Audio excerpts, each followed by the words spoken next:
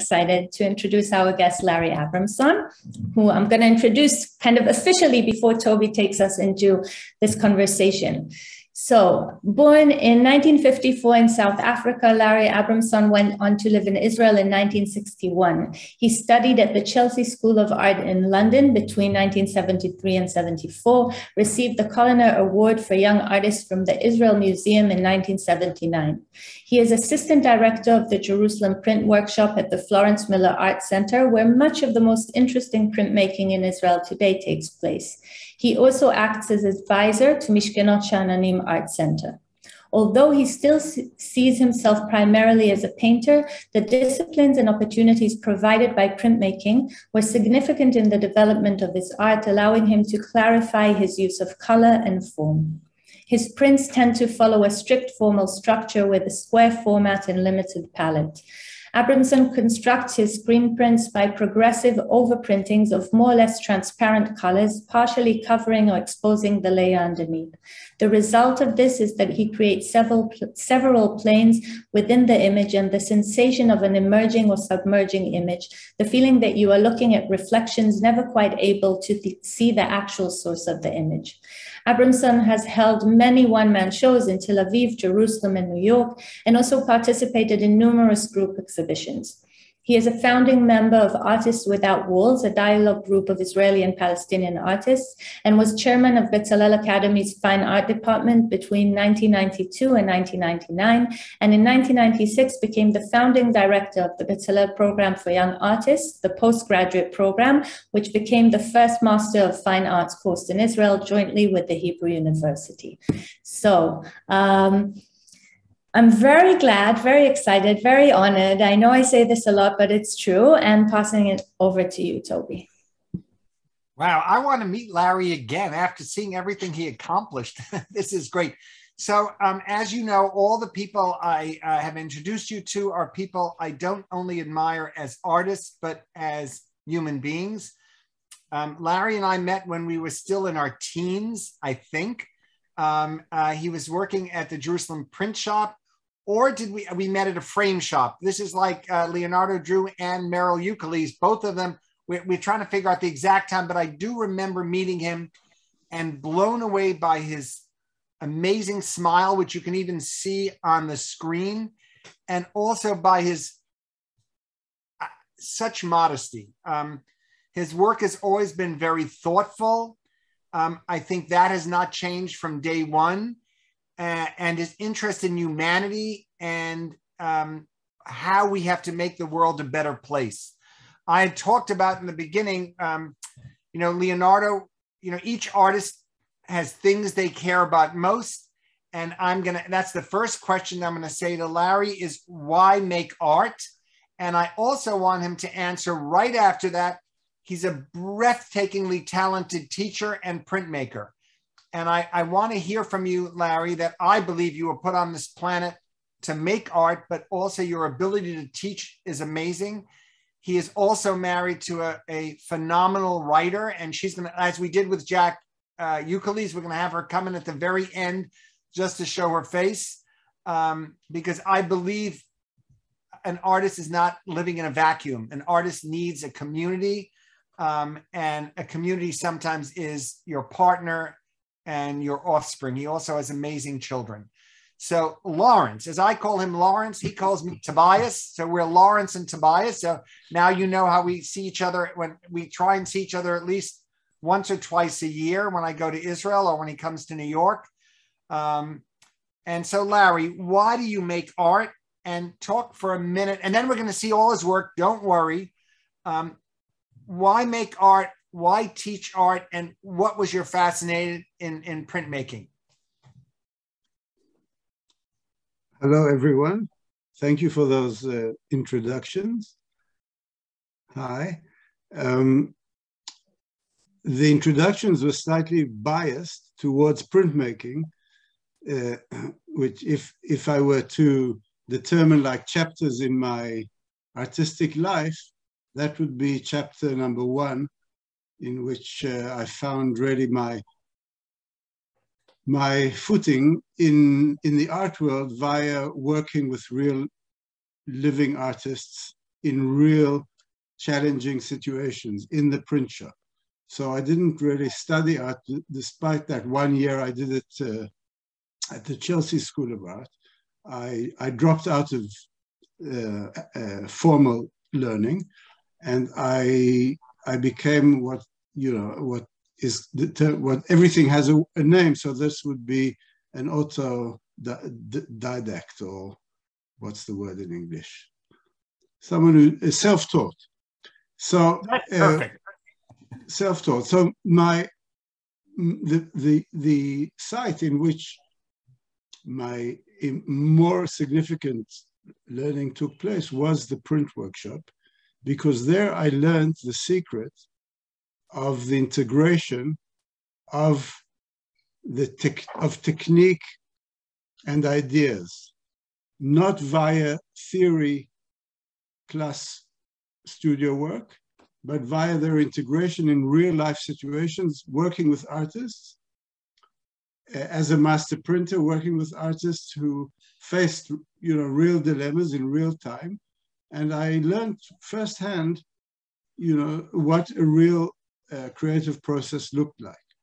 So this to me was very important, and in a way, in later years, uh, what I tried to to replicate in the art schools I directed. I also, uh, the, you didn't mention this, but I also uh, currently in the past, um, uh, say 17 years, I've been involved in a different art school in the Tel Aviv area in Ramat Gan, the Shenkar College, where we established a, a school of uh, fine art, of multidisciplinary art, and I headed that department also in a few years ago.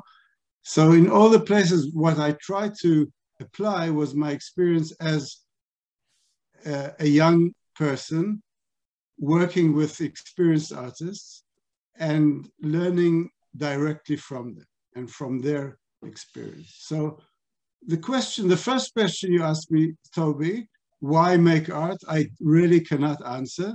I don't have any options. There's no alternative. This is like, why breathe? You know. So I want you to know, Lawrence, all of us said the same thing. So you're now, you're keeping it straight on target. Perfect. That's A plus. I mean, we can theorize about it and think what is the function of art, but on the personal level, this is like an axiom. It's not uh, something that I ever deliberated. Perhaps very early on in my teens, I wondered whether that was the the. Uh, I knew my body wanted to paint. Uh, I knew my mind was involved and and uh, challenged. I wasn't sure whether socially that was a viable choice, but uh, I really had no alternative. It was much stronger than me. Uh, it's interesting that despite my, despite my, let's say, my unsuccessful attempt to be an art student, uh, I first went to the Hebrew University. I didn't really want to go to art school uh, because I had the kind of romantic notion that art wasn't something you can actually learn and that you had to experience it. So I thought I could learn the, uh, the history of art, and I went to the uh, Department of Art History at the Hebrew University, and I took a, the, the one year. Turned out to be one year of the BA program, but I couldn't stand the attitude of the the professors, the historians, to art as a kind of historical object that needed to be defined in terms of iconography and composition and so on. So after one year, I left that, and then then I went to talk to the only person I knew in the art world who was my art instructor at uh, high school. And he said, Don't go to art school in Israel, they'll spoil you.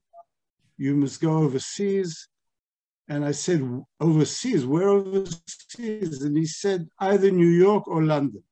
So London seemed closer and somehow more familiar, coming from an English speaking South African Jewish family with parents who like read Shakespeare to each other uh, in the evenings. So I went to London and it, was accepted to the Chelsea School of Art, but I couldn't stand that either because I felt there was a lot of waste of time there. There was no not enough uh, hands-on uh, uh, experience there. There's too much talking about art. So I left and went back to Jerusalem, and then I had the good fortune of stumbling upon the the print workshop in Jerusalem. It had just been founded, and I became part of that. I, I was there for like 10 years. And then I was invited to teach painting at uh, Bezalel Academy. So that was about in 1984 when I started teaching.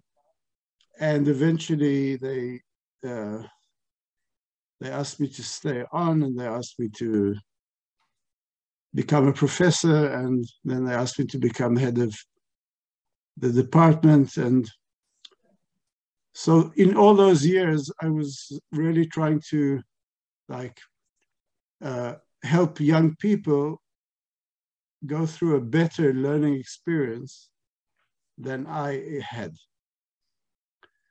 and I can talk about that if you like or anything. No, no, no. Like. That was perfect. That's what I wanted. I wanted everyone to hear that if you if it doesn't work, you can change it and make it work. Now I know many of Larry's students that come to SVA for a semester abroad, and they all talk about the fact that he gives them roots and wings. He really pushes everyone to find their own voice um, and I think the reason you're such an amazing um, educator is because you also worked with artists at the print shop and got into their heads and help them find their voices. So I don't think it matters if the artist is more well known than you or less well known than you or where they are in their journey. If you're opening, if you're open to listening, which I think you do well, and as somebody who's a master printer has to do with the artist um, that they're working with,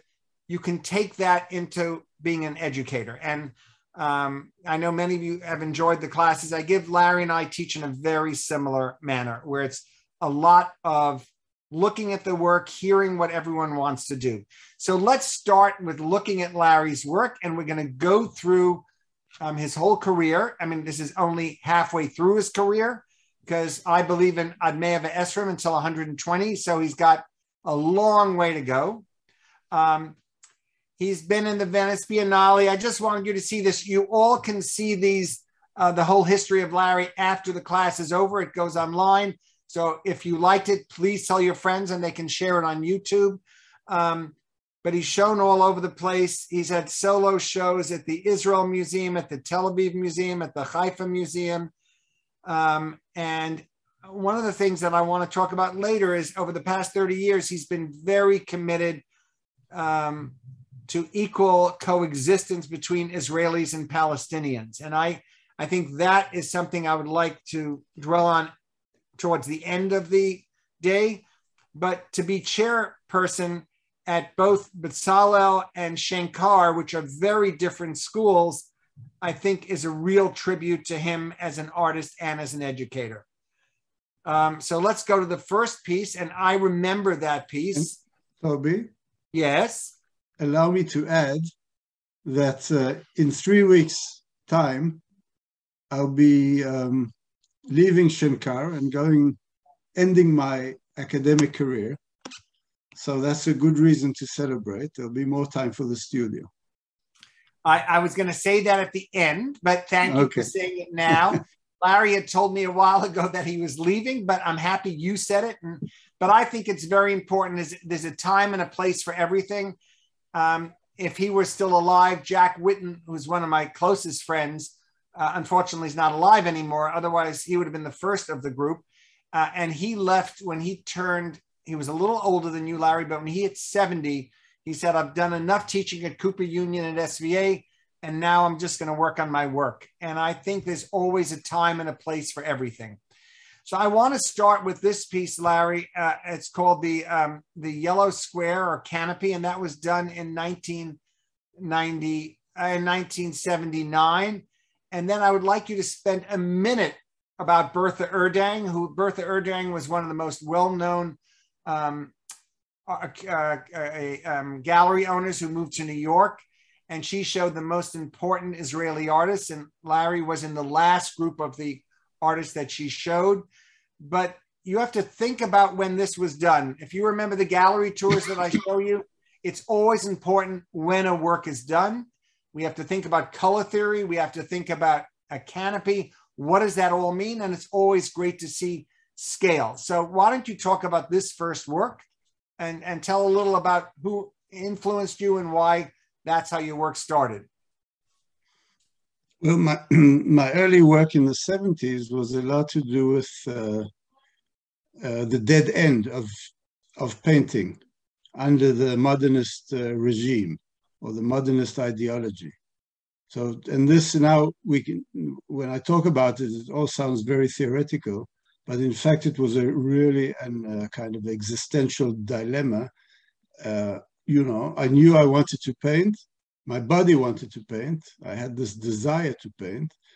Uh, and on the other hand, if you looked at the history of painting, the recent history of painting, uh, painting in the 20th century, uh, you you were led to believe that painting had played its course, that it had completed its mission. It was no longer needed and no longer relevant. This is in the 1970s. You know, other attitudes replaced painting, more conceptual attitudes, more textual attitudes, idea art, conceptual art. So uh, this was a real impasse. And the way I worked with the problem was to actually incorporate the dead end, the, the reflexive cycle of abstract painting into my work and to find to try to find a way out of the dead end. So first I worked with uh, black squares and you'll see maybe in the next uh, slides you'll see some echoes of the Malevich's black square from 1915 the what to him was like the the the the, the image of the new of the new era of of the modern of the future but was also for the generations after him and perhaps even for himself was also the end of painting and the beginning of something else so to work so i tried to work with this end of painting and i worked with the black square and then uh, quite soon after that i created a kind of black square of my own based on the complementary colors of violet and yellow. So I took a black, I took a square uh, and I painted it violet. And then with a very small brush and very painstakingly and uh, specifically, I covered this the violet square with yellow brush strokes. So, and layer upon layer upon layer until the, the violet was pushed back and the yellow came forward. And this was my kind of new black square, again, a kind of dead end, but a dead end that involved work, involved time and work and a kind of real experience. And then I, in the works at that time, and this work I showed at Bertha Urdang's gallery in, I think, 19, yeah, 1979 uh, in in uh, in Manhattan, and um, this was one of the works in which the yellow square is on the wall, and then I took a I took a square the same size of uh, of purple violet uh, satin, and I affixed two lines, two uh, wooden lines to the edges of the square and two lines, or what would you call them, Toby? Poles, poles, poles. Poles, exactly. Two poles in in the space, and so I got this kind of uh, canopy that's uh, you know like a Jewish marriage Chuppah. canopy, chuppah. And this to me was quite moving because, in a way, I was committing to painting. So I was under the chuppah with painting. So this this is like a significant moment, uh, not being, not only being uh, an observer from outside, um, um, analyzing the predicament of painting in the 20th century, not only taking a theoretical stance or a critical stance, but also saying, uh, you know, uh, here I am, and I'm committing under the chuppah to painting. I, I love that. Let's go to the next image because then you'll see. So I wanted you to see, and I, I have to say right now in America, and where everyone is talking about Philip Guston, and um, you know because he has the big show up here. I love that this was the second piece that we're showing because you can see the violet and the yellow, but here it becomes um, much more cartoony and not nearly as um, as formal. And I, I think it's important that your ideas are always a part of your work, but you move back and forth very fluidly. So tell a little about this piece. So first of all, you mentioned Guston. That's nice. It's a nice connection because when I showed, I showed at Bertha Urdangs in 1978 and then in 1979 or 1980 most probably. So it was like um, uh, on one of those visits to New York, I don't remember which, I went on a gallery uh, crawl and I chanced upon a gallery, I think the McKee Gallery. David McKee. David McKee. McKee, McKee Gallery. And there was a show of small figurative paintings by Philip Guston. Now, I knew Philip Guston as an abstract painter. I knew him from all the books about the New York School. And I, I, you know, I respected him. He wasn't one of my heroes. But when these small paintings took my breath away, they opened up a kind of post-conceptual language of, uh, let's say, of drawing and imagery uh, that uh, was fresh and relevant. In his case, it was paintings of books and shoes and skyscrapers and paintings on easels. But that to me was a formative experience.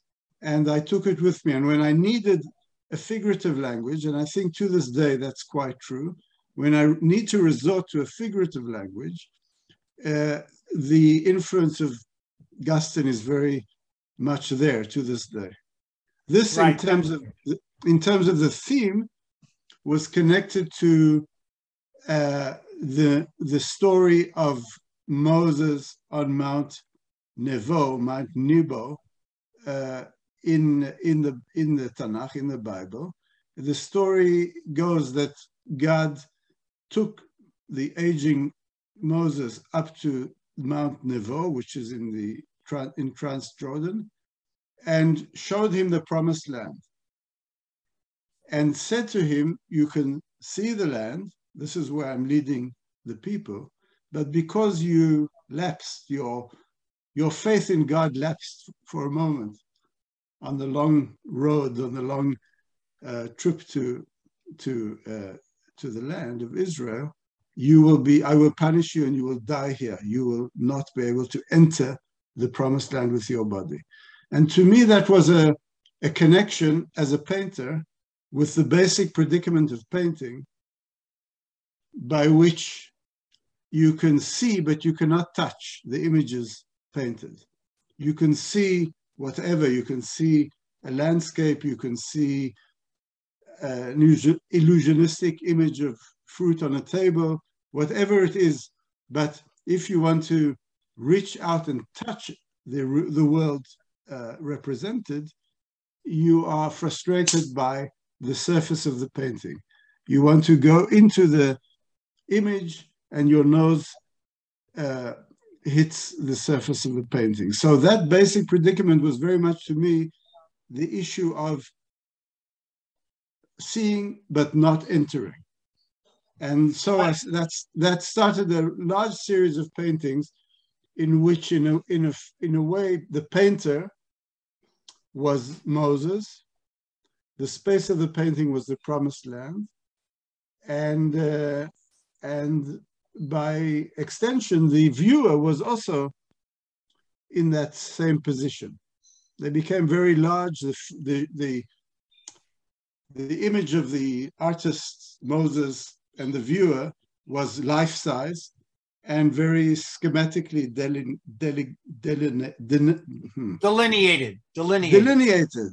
Right. Thank you, Toby. Anytime. Delineated. I, yeah. And uh, and so that was a kind of sharing of the predicament with the viewer.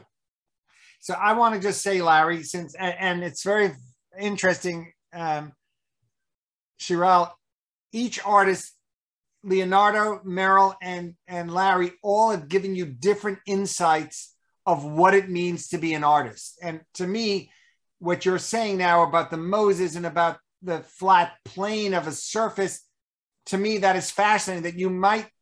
I've always admired your work, Larry, but when I hear you speak, I understand it on a totally different level, which is great. Let's go to the next one. I don't want to miss um, any images, and we have um, so many images. So um, I'm also thrilled that you're seeing pieces that when you go to Israel, you can see at the Israel Museum or the Tel Aviv Museum. When it says it's in the collection of a museum, it doesn't mean it's up all the time, but it's in their collection. So this is a, a very powerful piece. And talk a little about this, but I'm going to keep you moving because I want to make sure that we get to see all the work. You know what? Wait a second.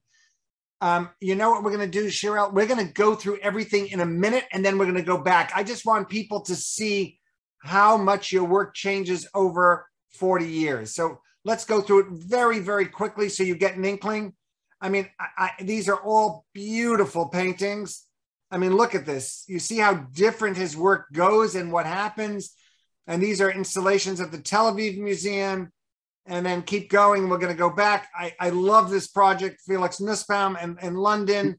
You'll see how much his work constantly changes. And I stayed with him in New York when he had a show at, wasn't it at Fre- Frieze? No, no, uh, no, the other the other fair. Um, I forgot. A great art fair in New York. he was there. So, and I sat Volta. there at his Volta at Volta. So let's go back, and now you'll see I'm excited that I just did that. You get to in his brain and understand how he goes. Now let's go back to this. Okay, so now at some point I was dealing with this distance and inaccessibility, and it I got a little fed up with it. I felt it was a little too narcissistic and melancholic to spend your life fretting over the inability to touch reality. So I thought, you know, maybe you cannot you cannot touch the, the reality, the promised land in its entirety. But you can grasp bits and pieces. So I started reversing the process, more becoming more like a spy, a biblical spy, going into the promised land and coming back with some findings to try and represent the totality of, of a land through metonymy, through you know, details, like the biblical spies brought with them a, a bunch of grapes to represent the land. So I started working with bits and pieces, bits and pieces also from nature and bits and pieces from art and from culture and, and bringing them and assembling them in the studio. And this work was like, it, it came from a kind of pile I had in the studio of things I brought, like a big rock and some uh, some weeds. And at some point, I picked up a piece of cardboard. I don't know, Toby, if you do this in the studio, but sometimes when I want to examine if a color is right for a painting, rather than mess up the painting, you know, I like take a piece of paper or cardboard and I put the paint on and I look at the bit of paint next to the painting to feel if it fits in or not. So I found, I picked up a kind of square of cardboard that I'd smeared some yellow paint on, and I put that on top of the pile of objects in my studio. And suddenly it seemed to me like the yellow square that was by then was like 10 years old in my imagination or in my work that the, the yellow square that had gone out of the wall, gone off the wall, became a canopy, became a flag, became all kinds of uh, contexts that were outside of art. And in a way, I felt I'd sent the, this image out into the world like a like a, a prodigal son, and it had returned to my studio. So I like this idea of the return of the yellow square. And now the yellow square wasn't the full total format. It was an object among other objects. It was a bit, a piece among other pieces. And that's that's how this work developed. Fantastic. And if you move, yeah, if you ahead. move on, uh, yeah, Shirel, we're doing it right move, now. Sure, yeah. You know, so these are all paintings from that moment where I was assembling like these kind of, I would call it, I, in retrospect, they seem to me like totems, like kind right. of columns of meaning, this and that and this. And so here, this painting was a completely like Rothko-esque uh, space. It's very large. It's three meters high. What's three meters in in feet? Large, like nine, very large. Ten, nine, ten feet. Nine, ten feet. High. It it looks like Rothko meets. Um, I don't know if you know him. Shirel, write it down so they can all see it. Robert Moskowitz. Um, yeah, and, yeah. And Robert, it feels like Rothko. Um, uh, um, um, what's his name? Um, Ed Ruscha and and and Moskowitz have a baby, and Larry, you are that child. Um, because what you do is you're playing with that whole idea of deep space and a totem, as you said, and then this beautiful moon that sits on top that feels like you're beckoning. You know, I love what you said about the yellow square. You're you're asking the viewer to enter the painting, and I, I love how you brought in Moshe in the beginning. That Moshe's on top of the mountain, but he's looking out, and now you're inviting the viewer come in, join me in my experience, which I think is yes. quite beautiful. Right. Later, in a few years ago, I published a book of my of writings, uh, and I called it "The Painter is a Spy." The painter is a spy. So that's very much how I uh, how I feel today. Uh, ever since about the painter, the painter is like a kind of outsider coming from the edge of civilization, moving in in a way camouflaged. You, the, the artist, the painter looks like a regular person, moves around among regular people, but at the same time, the painter is observing, is uh, uh, looking, is learning, is picking up findings, and then taking them back to the edge, back to the uh, brink, the brink of the, of society, uh, to look at them, to, to, to scrutinize them. So what, what you're doing also is very much like, I don't know if um, we're going to write this down too, Shirel, Jasper Johns um, invents this whole vocabulary for himself, as does Rauschenberg, which I took you to the show, whoever was in the galleries um, with me on Thursday. They mine their own works, and Larry does that too. So once you understand his work and you go to a museum show or a gallery show, you're understanding his vocabulary for 20, 30, and sometimes 40 years, where he's giving you clues of what the work is, and then you join him in that journey. Go to the next one because that's I, I love this one too, Larry. Um, yeah, this one's in America actually. It's in San Francisco in the Swig collection and uh, I, I a really... wonderful collection. Uh, Larry, mm-hmm. you and I are in that collection together, and they just donated mine to the Yale University. So the Swigs were fantastic collectors, and they bought really important works, and then they eventually give it to museums. So this one, this one is a, is a good a good piece to to demonstrate what I was trying to say before about the spy bringing back findings, and the findings you know, so this, if you look at the background here, it's like a kind of Guston brushstroke, right? It's a kind of Gustonesque depiction of an abstract brushstroke. And then, and then in that space, there's the black square, which we mentioned before. And here it's, a, it's, it's not a total image, it's a fragment taken from modernist culture. Then that kind of uh, uh, um, amorphic shape in the middle, that dark shadow, shadow, was something I did with a the the kind of what's the word the, the stalk of a banana bunch, not a bunch, a whole cluster of bananas that I found in in uh, in a garbage bin on the way to my studio, and I took it to the studio, and I put it on the painting.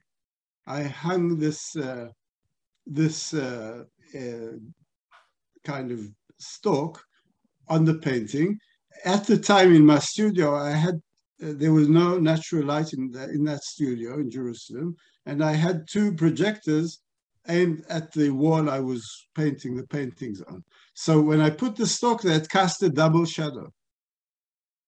And I captured that shadow and I painted it in.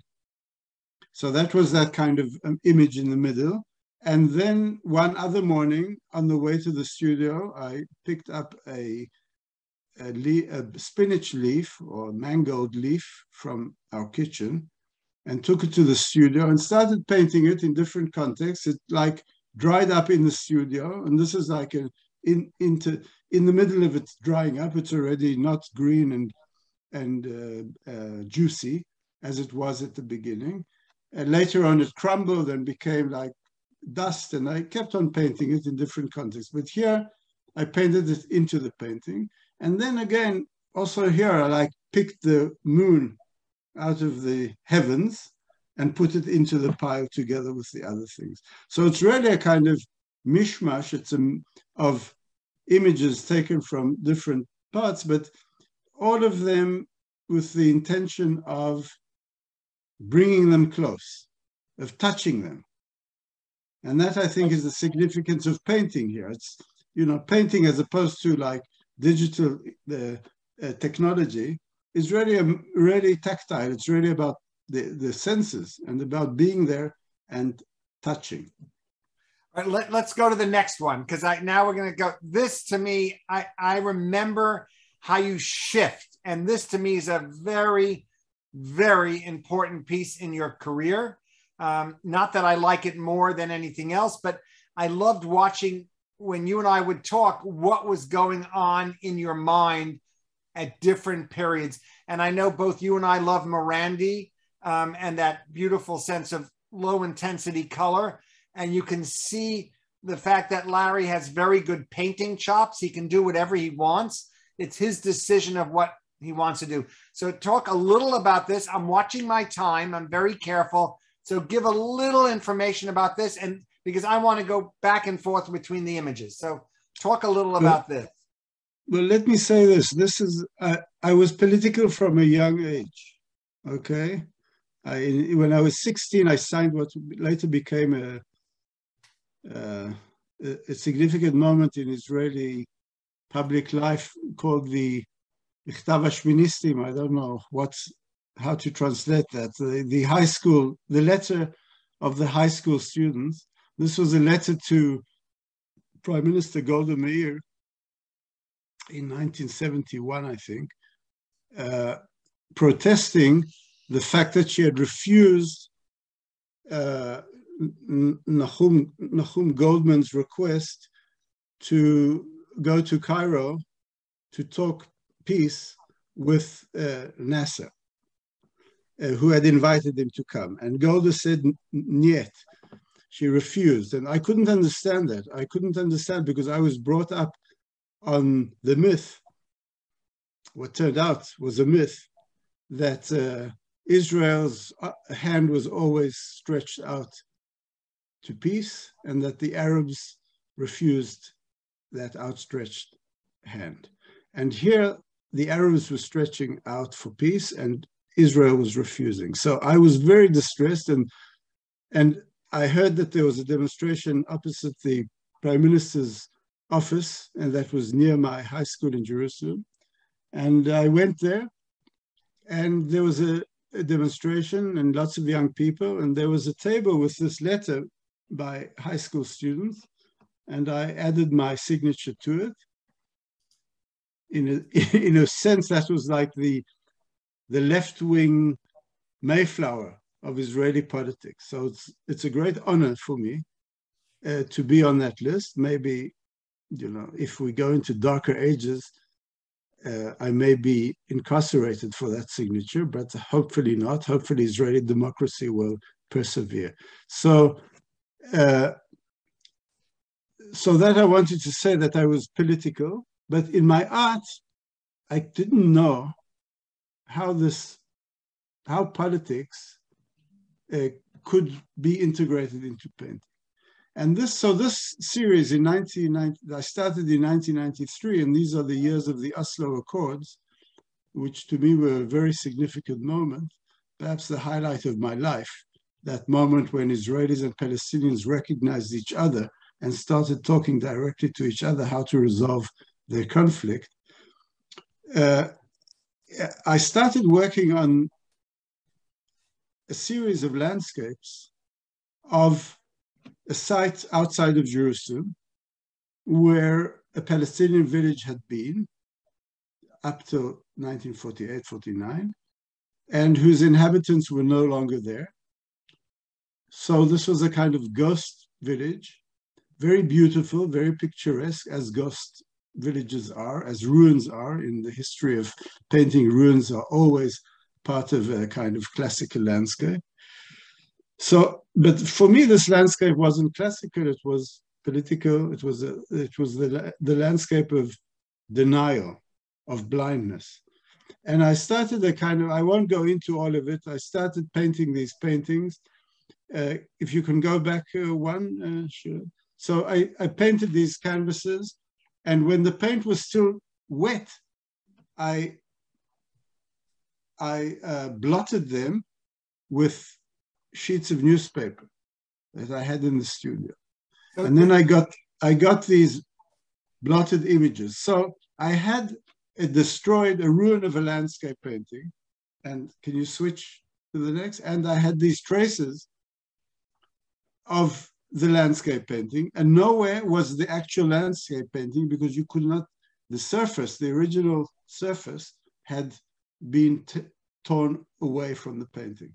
So I had these ruins of painting in a way relating to the ruins of the village and also relating to to a process of abstraction that to me, at that point, I realized that the popularity of lyrical abstraction in Israeli art was very much due to the fact that it enabled Israelis to be universal progressive uh, supporters of the most, what they saw as the most advanced uh, style of art at the time. And at the same time, because it's abstract, not to see reality.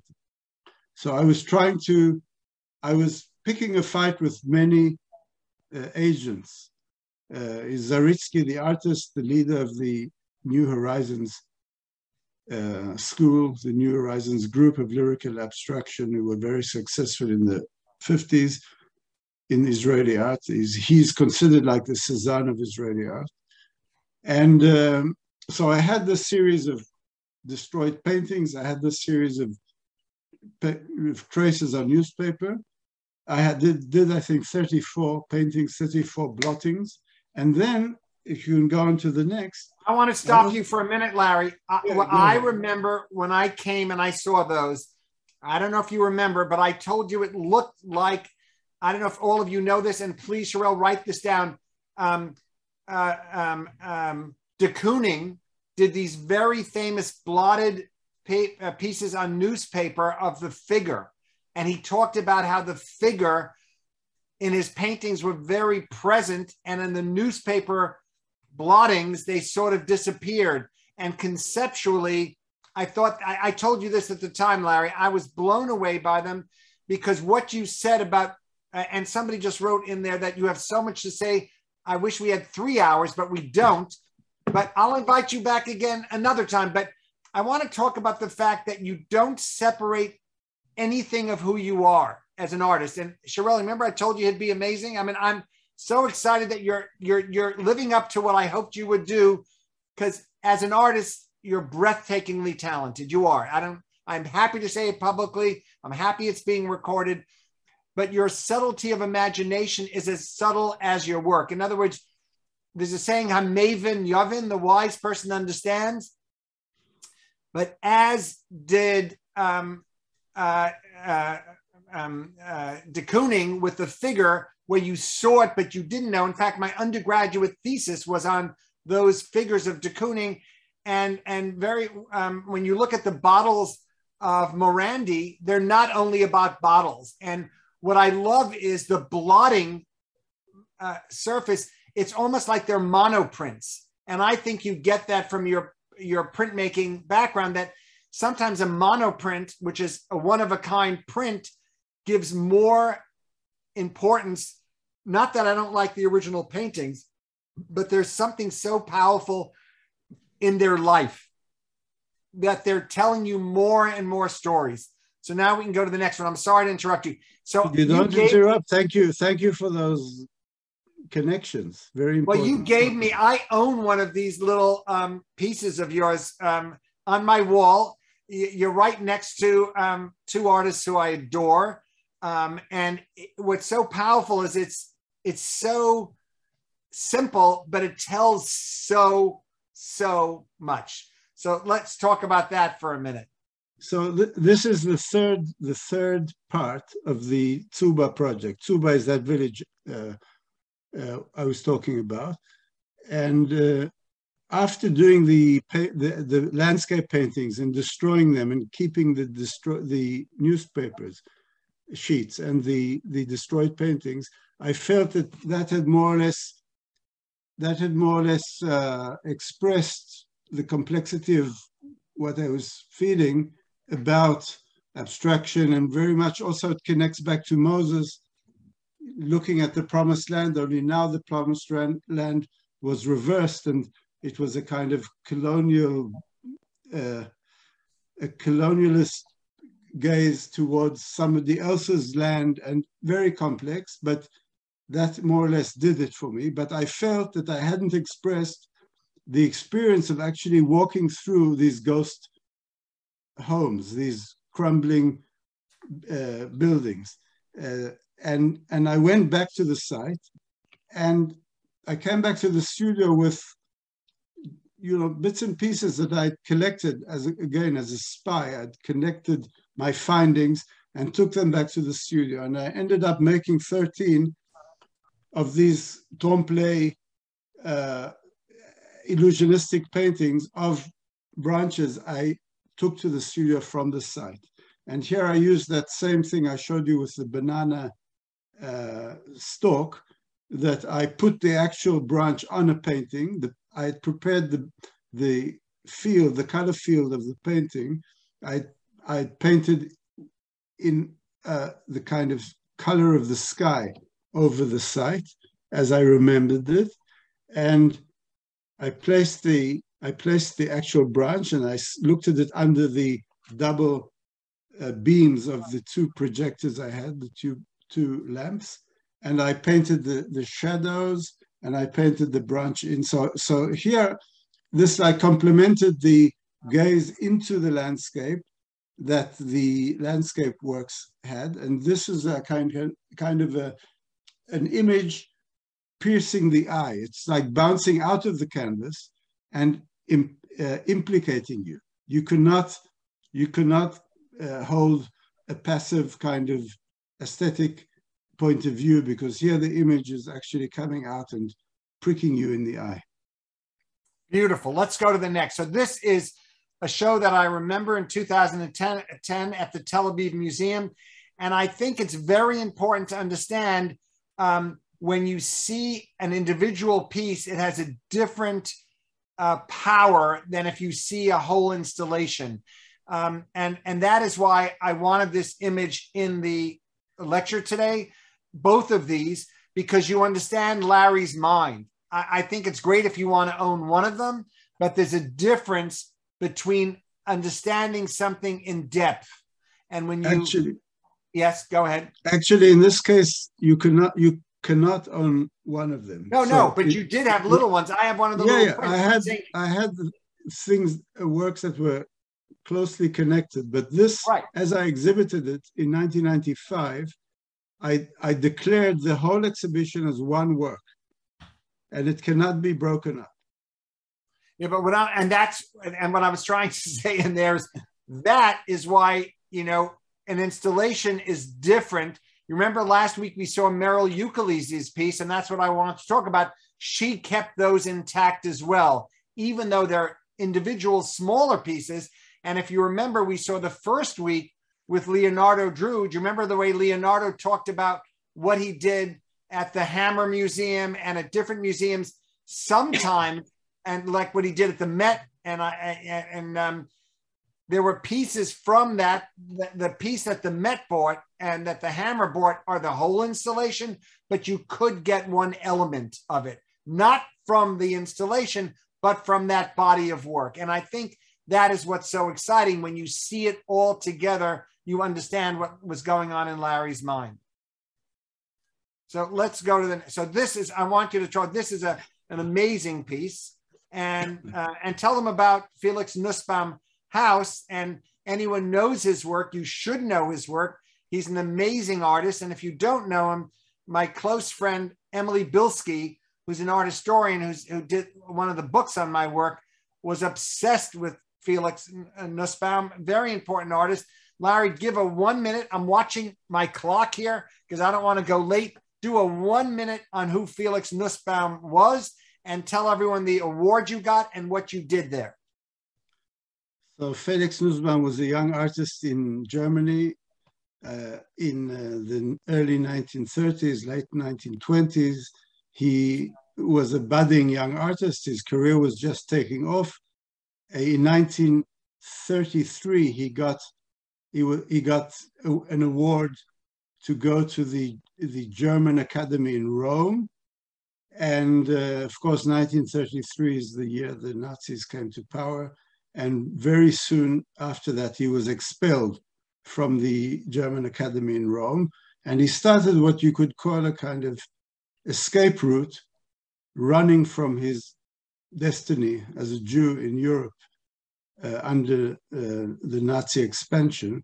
And he went to North Italy and Belgium and France and Belgium in, uh, in um, hiding in secret apartments uh, uh, with his uh, with his uh, um, his girlfriend or wife, uh, who was also an artist.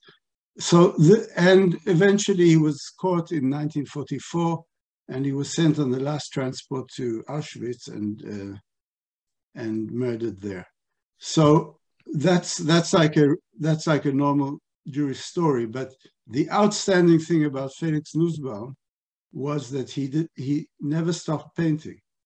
So he was escaping from death and he was painting and his painting evolved in these few years. It evolved from a more like um, mm, light-hearted kind of uh, figurative painting into a very committed understanding of the role of the artist as a witness of history. I'm getting goosebumps as you say it. Shirel, I, there's a beautiful book on him. I want to make sure that everyone gets that information. He, brilliant artist. But now actually, Toby, oh, yeah. in 1990, mm, 1985, I visited you in New York, and I was over there for, for some, you know, to show portfolios here and there. And I remember standing in the subway in one of the stations, and on the wall was a big poster with the very famous, today very famous image of Felix, a painting of a self-portrait. Right. Where he, he's trapped in a corner between two walls, and he's got his yellow star and his hat, and he's can't escape from his destiny that is, is hounding him. And it was a show at the Jewish Museum uptown in New York. That's what and that's what Emily Bilski was involved with. It was a brilliant right. show. I'll never forget so, it. Right. But I want to, this is like history, historical decisions, moments. So I'm standing there and I see this and it, it's very interesting to me. But I was on the way to, at the time it was the East Village to look at the, the new galleries. And so I, have, I had a dilemma for a moment and I chose the East Village so that's a very important show I didn't see. And I, I carried it with me, that moment of choice and that kind of missing something that I, that could have been significant. And in 1996, 11 years later, the Israel Museum had a show of Felix Nussbaum, and I rushed there, and I was blown away. So this was a, a moment, and I took my students there, and since they, I don't know if you know Michal Helfman, sure. uh, right? So Michal was my student at the time at Bezalel, and I took my class there and talked about Felix Nussbaum, and she later on did uh, a very like uh, prominent piece, an installation regarding Felix Nussbaum. But for me, Felix Nussbaum came up in in the early two, uh, the early what's the word the two, 2002 three four I was uh, I I I put away all my paints and I just worked with charcoal on paper for two or three years. And I worked in relation to images that then were very dominant in the public eye in the press. Uh, they were connected to uh, the surge of terrorist attacks in Israel and Israeli campaigns into the uh, Palestinian territories and the reconquering of uh, the West Bank. And there was a lot of destruction everywhere. So I, and I was very depressed uh, politically and in a way depressed personally and for me to, to put aside the, the, all the colors and just to work, to go back to basics, to work with charcoal, with burnt wood on paper was a kind of desire perhaps to start afresh. And I, I, I took photographs of demolition sites, like civilian demolition sites, old buildings torn down to build new ones, not uh, not bombed out buildings, but actually, you know, regular process of contractors and, you know, wanting to make some more money. Uh, so I took these pictures, took them to the studio and started painting piles, piles of debris. And not painting, sorry, drawing. And the, the drawings grew and they become became full body size. And I worked on that for a long time. I worked on uh, destroyed buildings, demolished buildings in Rehavia and Jerusalem. Uh, I one day saw on the news that they were doing, they were demolishing the old townhouse of uh, the city hall of Rehovot. So I went there the next day, I took photographs of that and piles of debris that contractors dumped here and there. And this was a series of piles. And it was also connected to my leaving uh, Bezalel at the time and being very disappointed with my colleagues and the behavior of people in general. So I was feeling very uh, demolished and and leaving Bezalel, I had like some money in a travel fund that if I wasn't to use it, it would just be go back to the general funds of the institution, which I didn't want to do. I didn't want that to happen. So I decided to go to see the Felix Nussbaum Museum that had just been built. I read about it. It was designed by Daniel Libeskind, the architect, very like groundbreaking architecture, the first museum he actually built. He later built the Jewish Museum in Berlin and the War Museum in, in England.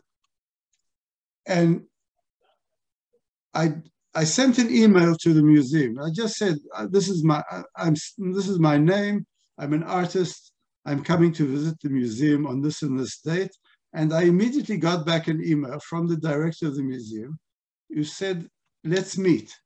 So this was a very like serendipitous uh, moment, and I met her. She took me through the whole Felix Nussbaum thing. At the end, she said, show me what you are doing these days. And I showed her these drawings of the piles of debris. And she said, when you finish the group, I want you to show it at the museum. And that was like what, uh, once in a lifetime, that kind of moment happens. You don't have to, you don't even try, and the museum invites you to show.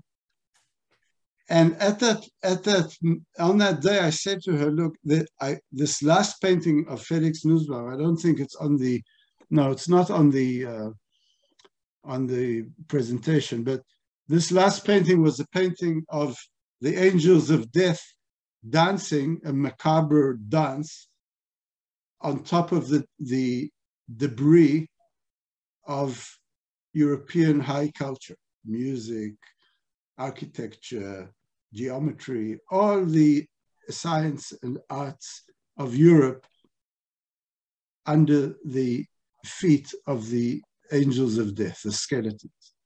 So I said, yeah, really powerful, worth worth looking at. So I said to her, I want to, if I'm if I succeed, I would like that show to include a work, a tribute to Felix Nussbaum, a dialogue with him, a one-sided dialogue.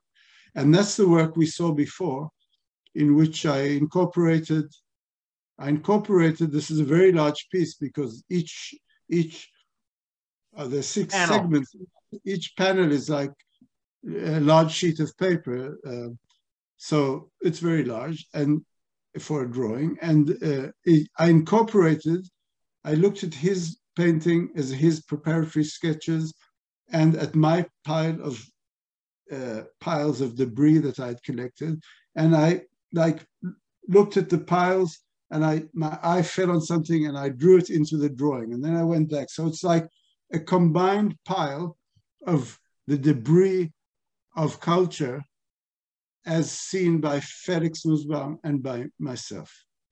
I, I want to get. I'm watching the time, Larry, and I'm nervous because I want to show the others. But I want to just say I, I didn't think of this until now but you should also, everyone should think about how William Kentridge uses charcoal and drawing and, and does films based on that.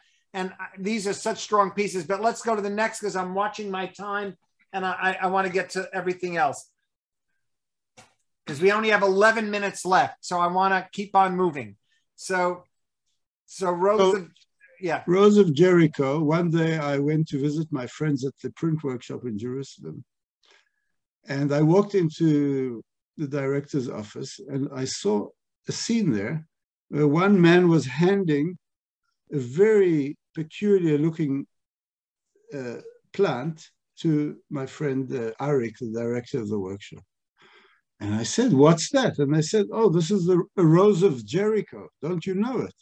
No, I don't. And then they told me the story. It's a plant that grows in the in the desert it blooms once and dies. It's, you know, and it dries up and dries up into a kind of ball. Uh, and only when a flash flood occurs, or once in a blue moon, some rain comes down in the desert, does it absorb the, the humidity and opens up. And so this dead plant opens up and drops some of its dry seeds into the moist ground. So this is, I, I love this, uh, this idea of resurrection, this, this potential in a ruin, in, a, in the ruin of a, of a plant, that there's still life in potential and also in practice. So it became a kind of metaphor. I wasn't the first artist to be fascinated by it. Uh, Lilien, the the early uh, nine, 1904 or something, Lilien, uh, Fay Moshe Lilien, the early Zionist German artist, uh, did a cover of uh, Ost und West, uh, the Zionist journal, where he portrays the daughter of Zion entangled in the thorns of the diaspora and holding a rose of Jericho as a symbol of like national uh, revival. There's a whole history to this plant. I won't go into it, but I started painting them. Uh, I, I, I, I tried to create a painting that was like a desert, a very dry surface, and to work with paint that was very wet and fluid that would soak up into the surface. And uh, so this is one of the paintings from that period. All right, let's go to the next. Yeah.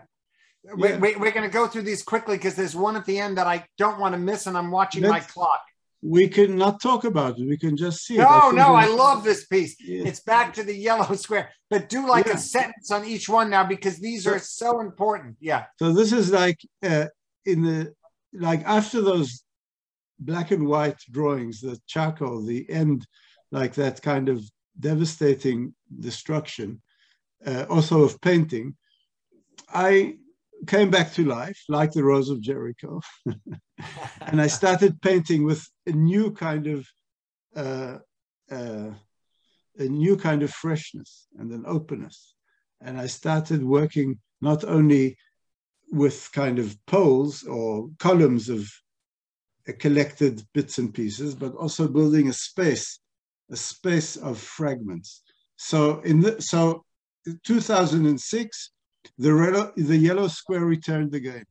So this is back to the yellow square, and this is here uh, uh, the black square that we talked about, and then one of the abstract images becomes a, a, a kind of house with windows, so you get a kind of model of uh, of what in Hebrew I would call makom, of a place. You know what constitutes a meaningful place. You need ground. You need some kind of horizon line. You need uh, to place a home there, you need some kind of uh, vegetation. In this case, it's the shadow of that palm leaf, palm frond. And you also, sadly, you also, uh, every white has a black. And uh, there's also usually, at least in my experience, separation barrier stuck in between. In Arcadia, death always dwells. And I, I think it's, it's fascinating. You go back for a minute. I love the way you painted the trompe l'oeil wood. And I think what you started to do in the later years is your sense of space keeps changing. And that's what's so exciting for me is to look at your work, look at the first work, and you're giving more and more information about what is there and what is not there. So if you have the privilege of knowing an artist for so many years, the work keeps building on itself and the narratives keep growing. So, as in, I, again, I'm going to bring in Jasper Johns. Jasper Johns brings back his images in there, as do you. Let's go to the next. I love this next one. And think of that in relationship to the first image we saw. And this makes me think of a sukkah, you know, like. Exactly. Yes, absolutely. It is a sukkah. It's like a sukkah kfanim, a vine sukkah, vine, what would you call it in English? You know. I don't know you have a vine growing on on some uh, poles and oh right it's like in an like in a um not an orchard like in a um a, a vineyard in a vineyard yeah but a vineyard but intended intended to be a place again a right. place where you can sit and take the air and relax and rest so at, at this in here in, in, these paintings i was thinking a lot in terms of uh, uh, utopias and their and their destruction, like the, the way a utopia always. Uh, a gazebo. Always, Thank you, whoever said that. Yeah. A gazebo, right. So a utopia always entails its own uh, impossibility. It's Michel Foucault said that when you when you realize a utopia in reality, it becomes oppressive. So here I was thinking in terms, on the one hand, of the tranquility of sitting and resting under your vine, and at the same time, the vine is the the grapes are black, and perhaps whoever planted them is not there to enjoy them anymore. All right, let's go to the next. I again, this one is such a beautiful one, Larry. I love this. Yeah. So here I was working. At, uh, I started working with botanical illustrations that was significant for me in those early years when my parents uh, emigrated to Israel and I was a young seven, eight, nine year old child uh, wanting to, to develop a new identity, to become an Israeli. And one of the, one of the mechanisms that was very central in those years was the love of nature the uh, the knowledge of nature, the knowledge of the wild flowers. At first, we used to pick them, then we started to protect them, and it was very much the same thing that the that the the wild flowers were a kind of symbol of belonging. And for me, that was significant. And in later years, when I became more critical of that mythology, I started to use these images from a book that I remember from my childhood with illustrations by, um, oh, I forget her name right now, but by a botanical illustrator, Koppel, Ruth right. Koppel.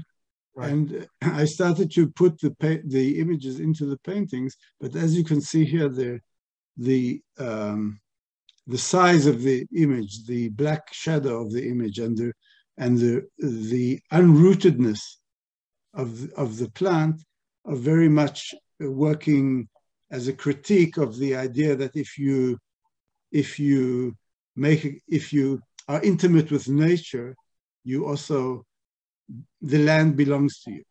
So to me, the land doesn't belong to anyone. Right. This piece is so powerful too. It's like unbelievable. I mean, Larry, what you have done with your vocabulary and trying to get so much information and narrative across to me is very strong because you're saying something very important, but you're you're not yelling it, you're stating it very clearly. And I think what makes great art is if the person seeing it can learn from what you're doing without being scolded in a way that you just can't listen.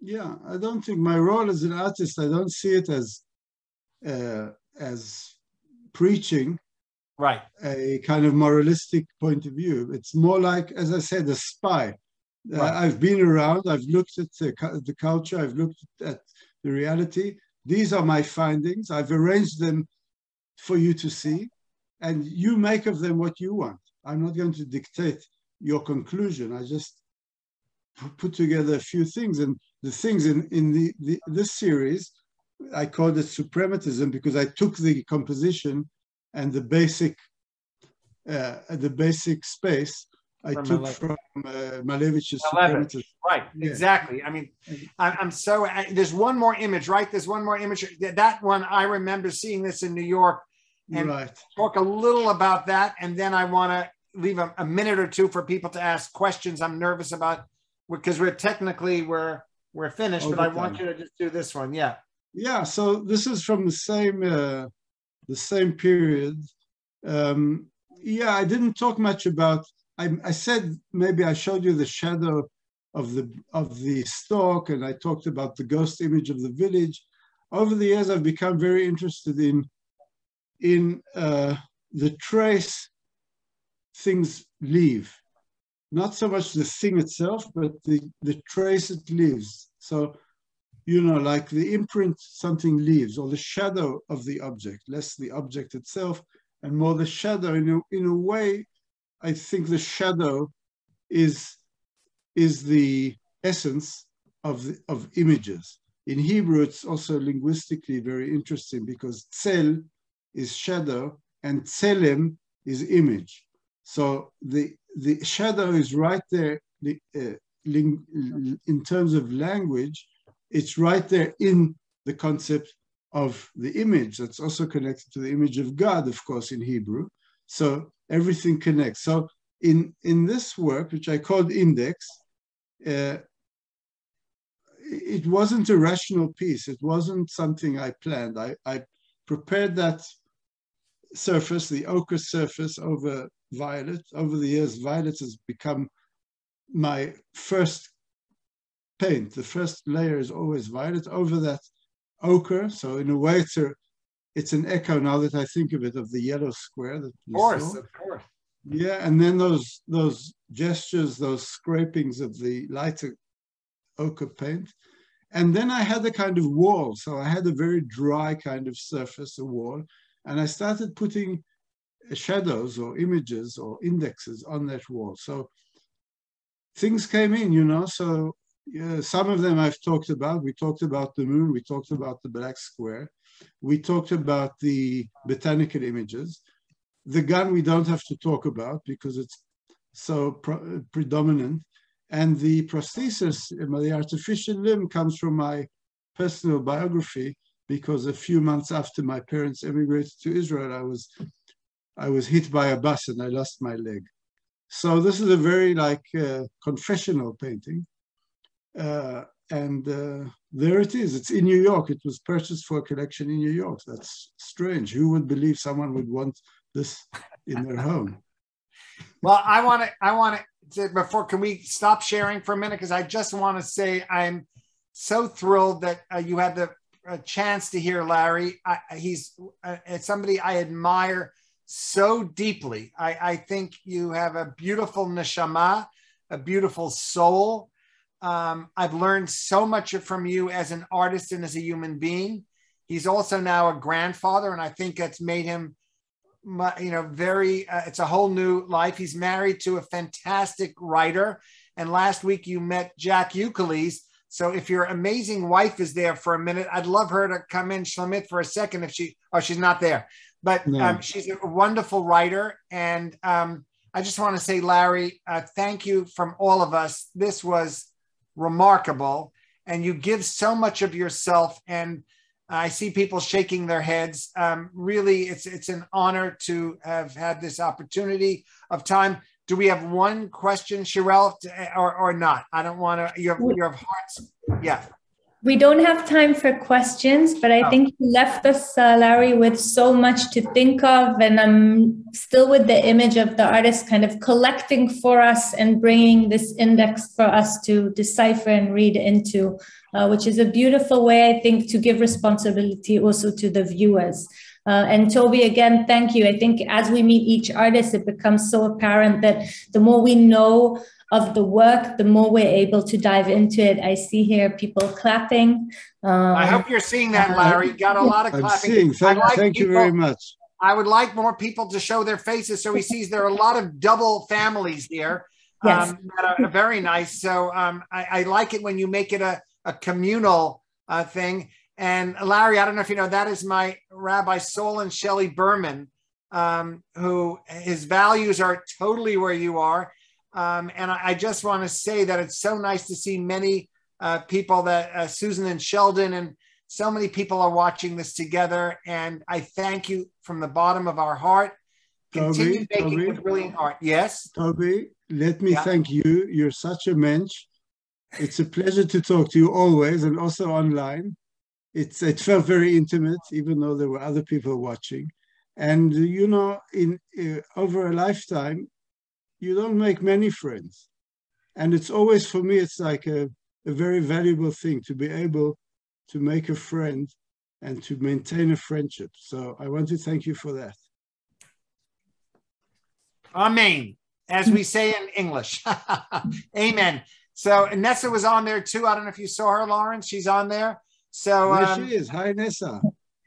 Thank you, everyone. Thank you again, Larry. Thank you, Toby. Looking forward to seeing you in our future programs. Have a good day, a good afternoon, or a good night wherever you are. Thank you. Bye.